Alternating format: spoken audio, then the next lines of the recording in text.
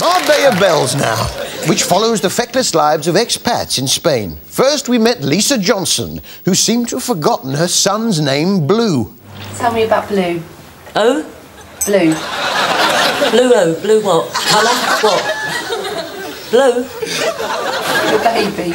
Oh, the baby! Oh, the baby! Lovely little thing named Blue! Named after Bluewater Shopping Centre, in fact. Mm.